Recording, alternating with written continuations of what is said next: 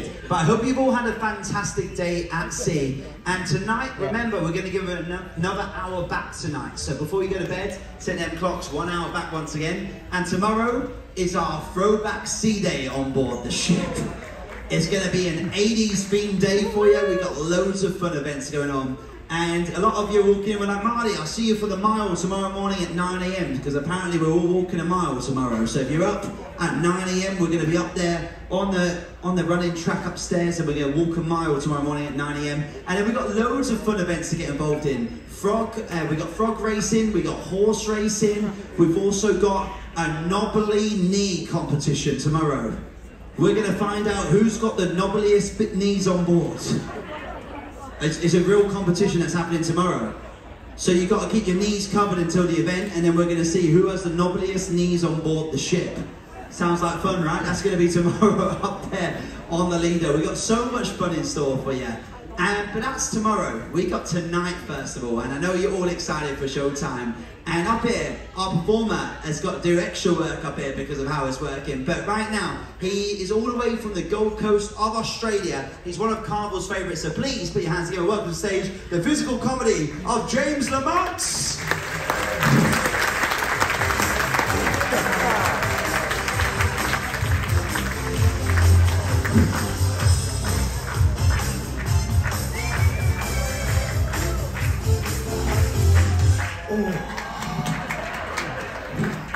I saw.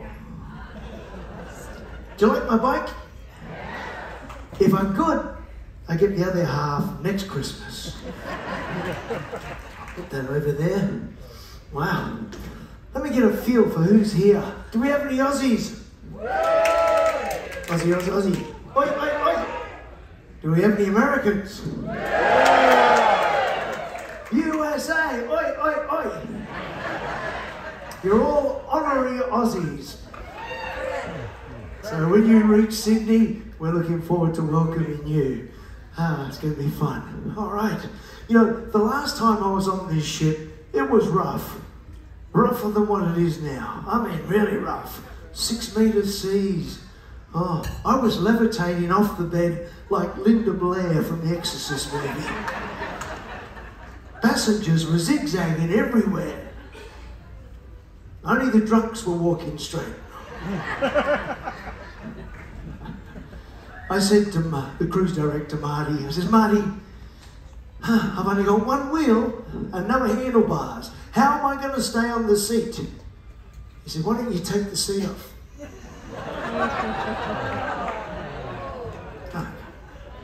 So, uh, yeah, love this cruise ship. And as a bonus, they uh, gave me a cabin close to the buffet, but far enough away from the gym. Did you know that 94% of, of cruises are return customers? Yeah. That's why uh, Sir Richard Branson has jumped in on the game. He's expanding his airline empire to include cruise ships. All passengers have to be over 18 and a virgin. Uh, did you know you can get a, uh, a tattoo on Virgin Cruise Lines? I mean, whose idea was it to put a tattoo artist on a moving ship in the middle of the ocean? Can you imagine? I have a little butterfly just here, please. Whoops. Have you thought about an eagle instead? My wife's got a tattoo. Love a woman who can make a decision she knows she'll regret. I told her to embrace her mistakes. She gave me a hug.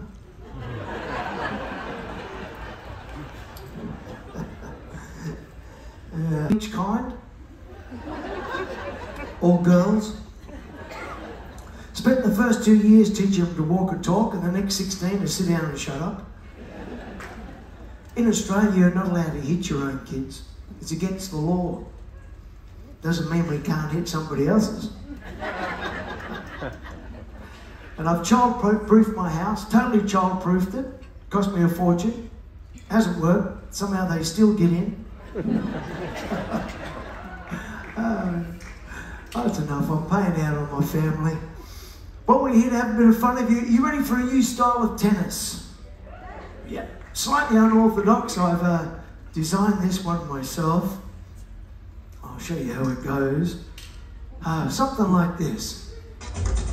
Oh yeah. Uh, I got it. Okay. Don't clap, let it build.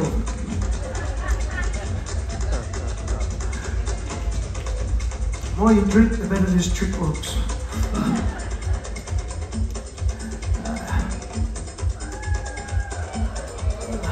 Oh yeah. All right. I got it. Right. Oh. Now, a good juggler, a good juggler can look away.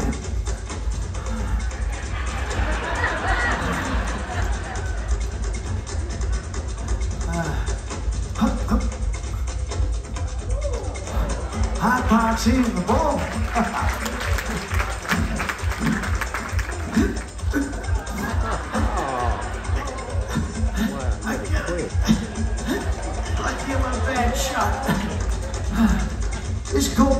Yourself.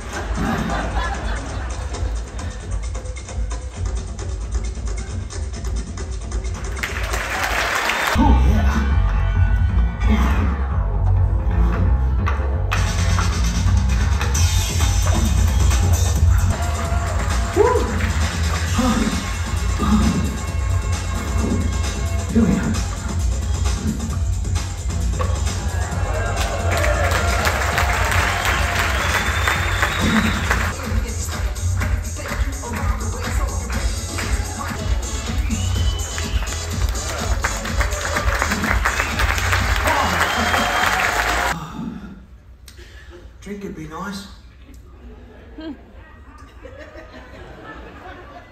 It's all right. You're on holidays. It's my shout. I'm buying. Who wants a drink? Yeah? Who? That couple there? Waiter, waiter. One coat, 50 straws. Big spender. Oh, yeah. Hope they got me something. Oh, here we go. What's this?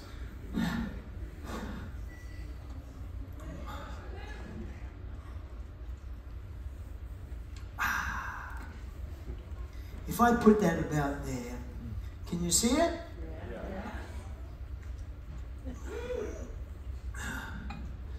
Yikes. Yeah. This is a really good trick, especially when it works. Especially when the seas are calm. Uh, but my life is full of mishaps, so what's one more? So what I'll need you to do, folks, is just give me a little bit of um, support. Yes, I'll need you to perform what they call a slow clap. Goes like this. Yeah, it's good.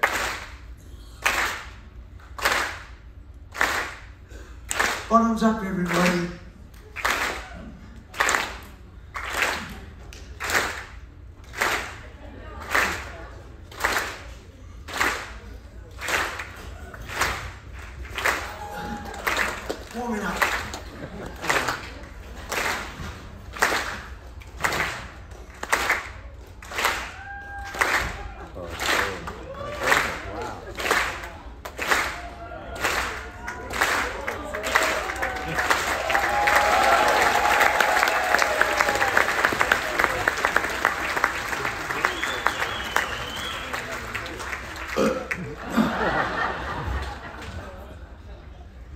Out than in.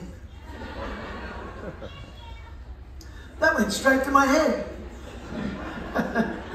Uh. All right. You know, I got to tell you, this is not my first cruise. My first cruise was in 1967 on the Fair Star, all the way from Southampton, England, to Fremantle in West Australia. Mum took us on a holiday, a one way holiday. See, mum and dad got divorced, and normally when people get divorced, they move to another suburb or town Not my mum. She took us to the other side of the planet. Boy, could she hold a grudge.